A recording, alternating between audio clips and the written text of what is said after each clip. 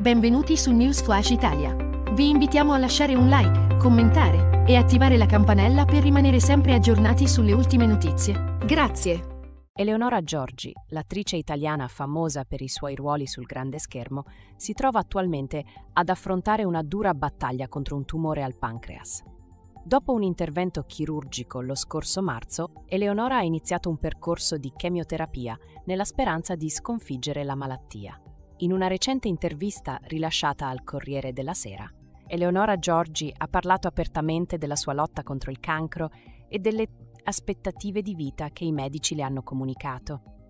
Non nasconde la sua paura più grande, che non è tanto la malattia in sé, ma il dolore che la sua morte potrebbe causare ai suoi cari. La Giorgi ha rivelato di aver chiesto ai medici quanto tempo le rimane da vivere, ricevendo una risposta che non lascia spazio a certezze. Potrebbero essere sei mesi, cinque anni o anche più. Nonostante la gravità della situazione, Eleonora ha mantenuto un atteggiamento coraggioso e determinato, affrontando la realtà con lucidità e forza d'animo. Guardando al futuro con speranza, Eleonora Giorgi ha condiviso i suoi desideri riguardo all'aldilà, sognando di poter rincontrare persone care che hanno segnato la sua vita.